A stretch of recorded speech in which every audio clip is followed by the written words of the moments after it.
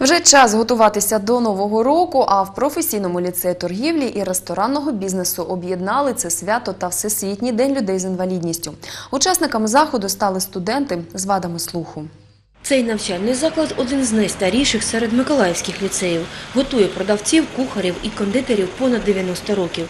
Навчаються тут і особливі студенти.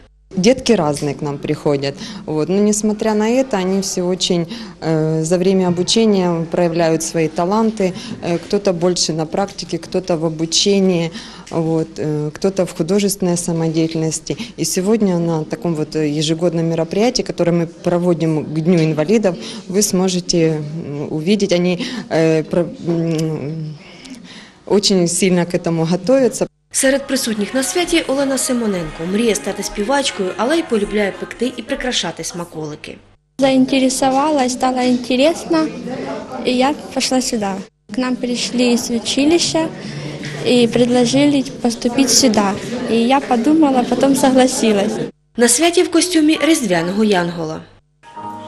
Есть ангелы у каждого из вас.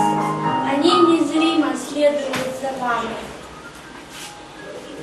Они вас не покинут в трудный час и не обидят грубыми словами. Діти з вадами слуху не тільки читали вірші, розповідали народні й новорічні різдвяні прикмети, вони ще й співали пісні жестовою мовою.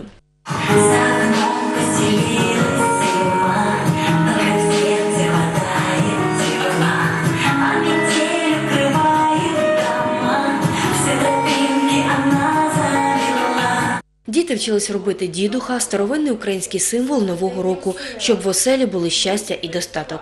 Педагогічний колектив сприяв всебічному розвитку своїх студентів.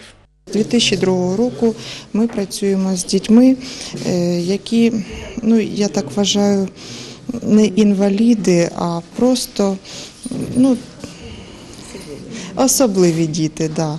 Ми намагаємось в нашому колективі їм таку обстановку створити, щоб вони себе не чувствували ущемленими. Олена Міщенко, Артем Білібов, телевізійні новини Миколаївщини.